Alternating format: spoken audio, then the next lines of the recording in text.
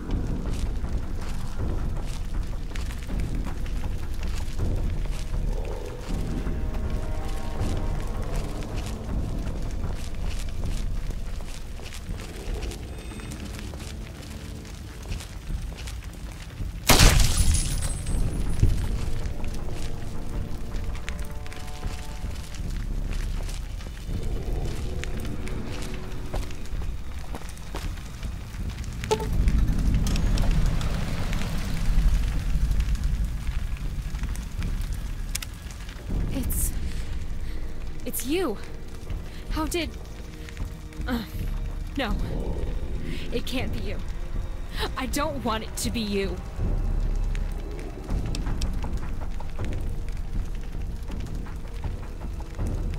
No. I don't want you to save me. Just go away. You can't be real. You're the one they tortured me for. They were trying to get me to talk about your life. They didn't care about me. They didn't care that I killed five of them before they caught me. They just wanted you. Only you.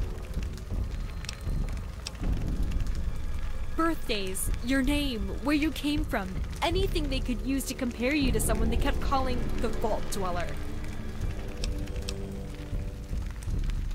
They said my tribe isn't here.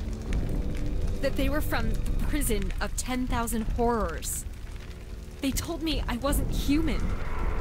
At first, I thought they were trying to break me, but I saw the fear in their eyes. I terrified them, but not as much as you. I don't know.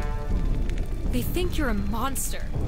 Some legendary thing come to destroy them all. Maybe they're right. Maybe. They were trying to keep me alive while they tortured me. They didn't break anything important. Their mistake. However you got in here, it won't be safe with me. You'll have to protect us both. If you return us to the surface, there's only one way out. Straight out the main door. But if you want to kill these raiders, don't let me stop you.